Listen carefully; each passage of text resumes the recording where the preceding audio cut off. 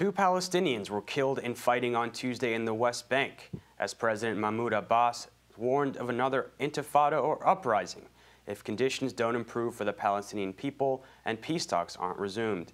The deaths come at a time of increasing violence and tensions between Israelis and Palestinians and clashes at the Al Aqsa Mosque. Well, now joining us to discuss all of this is Noura Erakat. She's in Fairfax, Virginia. She's a human rights attorney, assistant professor at George Mason University, and co-editor of Jadaliyya magazine. Thanks so much for joining us, Noura. Thanks for having me. So we know there's been um, ongoing violence, um, which is a almost a normal thing to happen in an occupation like that of the Palestinian territories. But what do you make of Mohammed Abbas's warnings of another intifada? We're just around the 16-year anniversary of the second intifada, which started in the year 2000.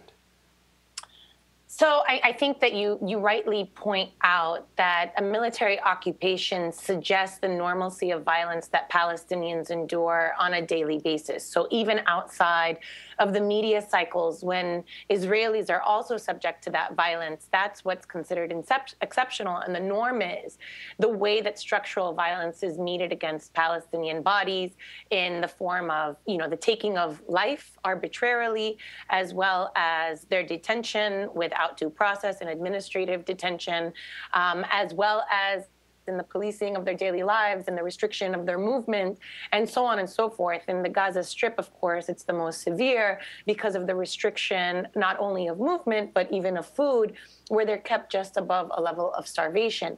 That we're seeing now what looks like clashes where Palestinians are responding to this, this violence, this institutional and structural violence, and they're responding in forms of armed resistance is uh, what's being highlighted. And that, in fact, is being provoked at the Al Aqsa Mosque by Israeli troops who, around um, last week's Jewish holiday, were restricting the movement of Palestinians and their access to prayer in order to make it fully available to Jewish uh, worshippers. The reason that that becomes such an incendiary um, move is because Palestinians in general are restricted from access to worship. They Palestinians in the West Bank and Gaza absolutely cannot reach Jerusalem. Those who can reach by exception by filing of a permit that's overseen by a military authority that decides whether or not they're allowed to enter.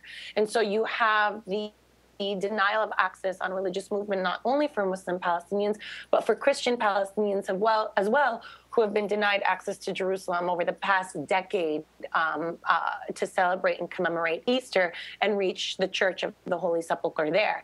The reason that this becomes you know, interesting because it's happening around this time is, as you mentioned, in sept- on September 20th, 2000, after the collapse of the Camp David Accords, Ariel Sharon um, had entered the Temple Mount with a thousand armed troops, which was the provocation or the camel that broke this, uh, the straw that broke the camel's back and began what was a five year um, clash between Israeli military forces and Palestinians. And that clash of five years happened to be much different than what's known as the first Intifada in the late 80s because of its militarized nature and its exclusionary nature, uh, because it was not as pop as not a popular uprising as much as the first one was, but instead was more of, in fact, a military confrontation. And during that time, we see the the initiation of new uh, uh, of new um, laws of war that Israel introduced. It was the beginning of when Israel declared war on Palestinians who are otherwise civilians under their occupation and deserving and, and needing of their protection. It was the beginning of, of extrajudicial assassinations when Israel took ownership over them, calling them targeted killings, which had now become normalized and accepted and even adopted by the United States. At the end of five years, 3,000 Palestinians had been killed, 1,000 Israelis had been killed. Israel used this as the cover to initiate a much more militarized relationship with Palestinians um, in building beginning the building of the annexation wall, um, that has been declared illegal by the International Court of Justice, clamping down on its control of Jerusalem. And so now what we're seeing is what I think will become greater violence against uh, Palestinians, more laws that treat them like uh, suspects rather than civilians under occupation, under the cloak of violence. And in fact, Benjamin Netanyahu has now proposed the use of lethal fire to respond to stone throwers, which, um, you know, we're talking about shooting to kill Palestinians who could be at protests who may or may not be throwing stones, but those who are throwing stones um, will certain, and including children, will be subject to this lethal policy. And so there's a lot to worry about during the clashes, not because of what it means for the next juncture, as much as it be- means more violence against Palestinians in the name of security without any oversight. And I also wanted to ask you um, about what's going to ha- what's going to come next for the Palestinian leadership. Um, there's been rumors that Mohammed Abbas will not uh, seek uh, another term as president. Um, and you've noted that Mohammed Dahlan is a leading candidate for Palestinian political transition. Um, and he played a very pivotal role in getting the, the Palestinian unity government thrown off, uh, you know, basically what some would call a civil war in Gaza back in 2007? Um, you know, Mahmoud Abbas is is quite old and, and ready to transition out and wants to hand this off. And um, you know, to hand off leadership under occupation, first we should understand how farcical this notion is. That you have a state-led and there is a responsibility to govern oneself Palestinians should be invested in a transnational government authority, but basically that represents a national liberation movement across the Palestinian diaspora. So first, let's point out the the absurdity of the concept of trying to have elections for an administrative body under occupation that functions the, under the tutelage of the United States. Secondly, there is even under these absurd conditions to have a you know, to do this, you need a unity government, and that unity government has either been stalled or impeded for several years. The last attempt was in April 2014 um, which was a successful attempt to enter into unity government, which was immediately undermined by Israel. And we saw that in the attack on Gaza, which was in part a response to the fear that unity government had raised for them. It was a necessary but insufficient step forward. That unity government has yet to be set up.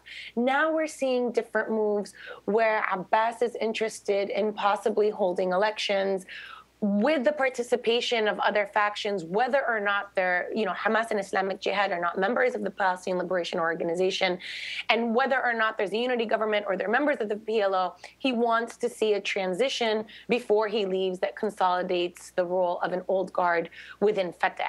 Under the, this framework, um, Mahmoud Abbas has, you know, they're, they're putting feelers out for who would be a plausible candidate. Unfortunately, unfortunately, um, Mohammed Dahlan, who, as you mentioned, was part and parcel of the civil war, the attempted coup against Gaza backed by the United States in 2007, is one of the leading candidates, but not for good reason, only because he happens to be under the He's a beneficiary of the United Arab Emirates, where he has been in exile. He is um, an opponent to Abbas, which is the only thing he has in common with Hamas because they both are opponents to Abbas.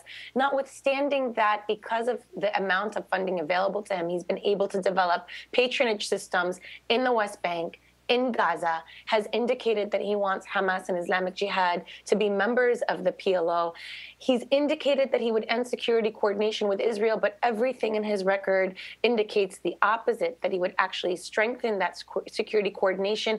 And he is, in fact, set to become an autocratic leader. He is, in fact, set to become a dictator of the Palestinian people to rule by force, um, even if he was to come to uh, power through an electoral victory, and in fact, uh, would be something of the most awful outcome.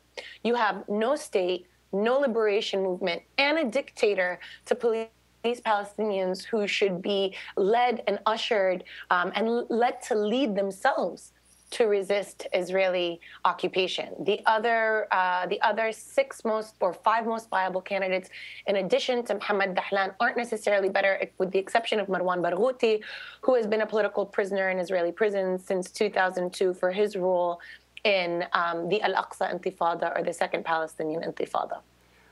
Well, Noura Erakat, thanks so much for joining us. Thank you for having me. And for our viewers, thank you for watching us at the Real News Network.